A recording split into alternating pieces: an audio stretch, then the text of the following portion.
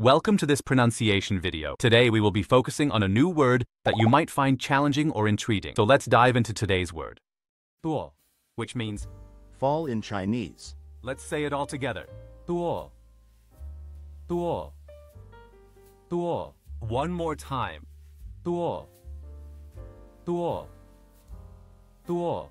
Thank you for joining us on this adventure in pronunciation. Remember, language is a journey, not a destination. Keep exploring, experimenting, and expanding your linguistic horizons. We'll see you next time.